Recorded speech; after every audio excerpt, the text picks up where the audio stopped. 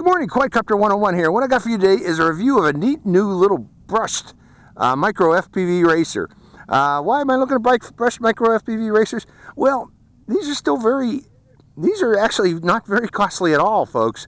And if you want to get into FPV, this is the logical step to transition from uh, sport drones into FPV. I would recommend starting out with one of these.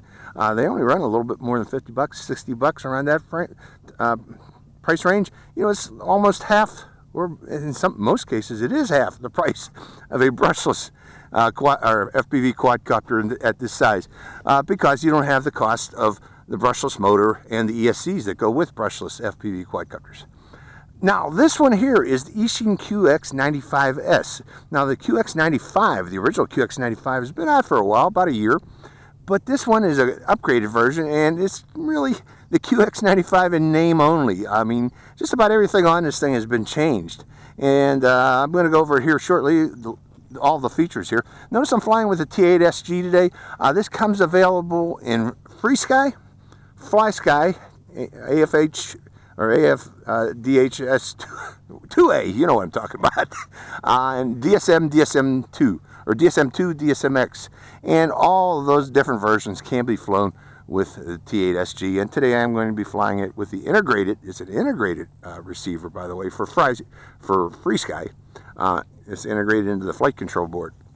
Um, let's go over the differences and features of this between this and the QX95. Notice I got a big list here. There are so many changes to this that I had to make a list. okay, first off, we'll start off with the flight control board. It's uh, F3 Omnibus uh, loaded up with Betaflight 3.2.1. Uh, we have a 600 TVL camera, 25 milliwatt uh, transmitter, 48 channels, NTSC PAL. It is a different camera than the original. Notice I can tilt this thing, easily tilt it, so we can get those high-speed forward flight. I am going to try to fly this high-speed forward flight. We'll see how well it does. Um, Additionally, it has a beeper. It has OSD on-screen display with the, this uh, particular quadcopter. Remember, the original did not have that. Um, we have plug-in motors. So, you know, we could swap these uh, 8 millimeter motors out easily uh, and plug in replacements. Um, we have, uh, let's see, the weight of this thing, comparing this to the original, they're both about 40 grams. This one's actually a little bit heavier at 42 grams. I weighed it. Um, but uh, that shouldn't, I hope that doesn't affect it very much, but we'll find out here shortly. Um, one thing that's strange to me that I noticed here, this comes with bullnose props in the front, stock bullnose props in the front, and regular um, curve props in the back, although you get a complete set of replacements. If you want to change these back props to bullnose, you get two spare bullnose black props. If you want to change these uh, front to uh, these Hubsan style props, you get two spare Hubsan props. So you can convert this to full bullnose or full Hubsan style props if you wish. Um, I don't know how they're really going to affect or why they did that. I'm really not sure why they have two different style props on it, but they do. Uh, we got a nice LED strip on the back. It's been redesigned from the, well, you know, it's the same bright LED strip, but uh, the way it attaches is a uh, different attachment than the original QX95. It should hold on there a little bit better, I believe. Uh, again, we have uh, the USB connector on this is easily accessible as compared to the original. It was right behind the LED strip, so you had uh, to remove the LED strip, I guess, to uh, access that USB port. we have improved battery. It's a high voltage battery, HV battery and 450 milliamp hour at 30C. I don't know how well it's going to hold up in flight. We'll, we'll find out here shortly. And uh, I think that's about it. Those are the main features of it. So we're going to plug this in, fire it up, and see how it performs. Hope you enjoy this flight. Okay, I have this set up. Uh, the way I have it set up is this will be angle mode. This will be air mode. Let's see if I, yep, those, those propellers running air mode. And this one here will be an acro. Um, I went into Betaflight and changed this. I thought I also turned off the beeper, but I guess the beeper is set for both these off position and center position. Um, and bottom is armed all the way down. Okay, so I'm going to first start off in angle mode. And I'm not sure why that beeper is going off. It wasn't going off at home, but but I, it seems to have a lot of pep. I want to bring it in close. We're going to do a um, punch. It's got good punch actually for a, a motor quadcopter. Now again, I'm not not sure why that beeper's going off. It wasn't doing that at home. But let's bring it up in close, let you see it hovering in flight. Its beeper's going off, but sorry about that, folks. We're going to live with that beeper for now. I'll figure it out when I get home. But really, I guess I messed up the uh, Betaflight settings for the beeper. So we're going to plop it there, and we're going to go right into acro. So hold on, folks. I see what the problem is here. This is an HV um, HV battery, and its, its voltage was a little bit high there, and it didn't like that, I guess, when I uh, started up. It's below 4.1 volts now, or 4.2 volts. It should be hopefully uh, shut up here in a few minutes. So I am going to arm it. And we are selecting Acro. And let's take it up and see how it performs. I'm seeing quite a bit of jello. It's that camera mount. Um, that camera mount is, you know, it allows you to change it easily, but it wiggles. It wiggles quite a bit.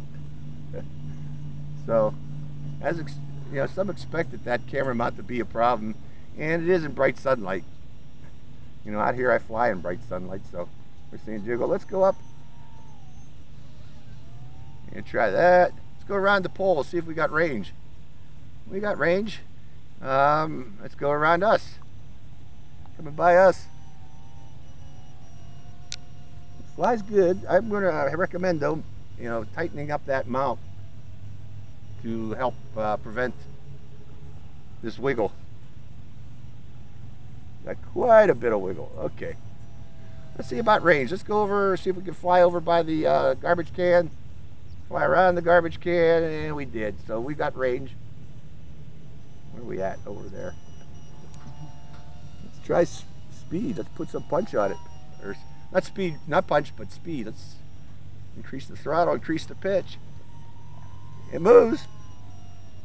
I'll give you that. It can move. But, whoa, I'm not sure what happened there, folks. Might need a little bit of tuning on those PIDs. Because I, oh, it's doing it again. So I'm going to be careful. These PIDs, I guess, do need a little bit of uh, adjustment. You make too hard of a turn, and it goes bonkers on me there. So PIDs need adjustment out of the box. Um, not, not at 3.4 volts. Let's go to the right, go into the right, turn to the right.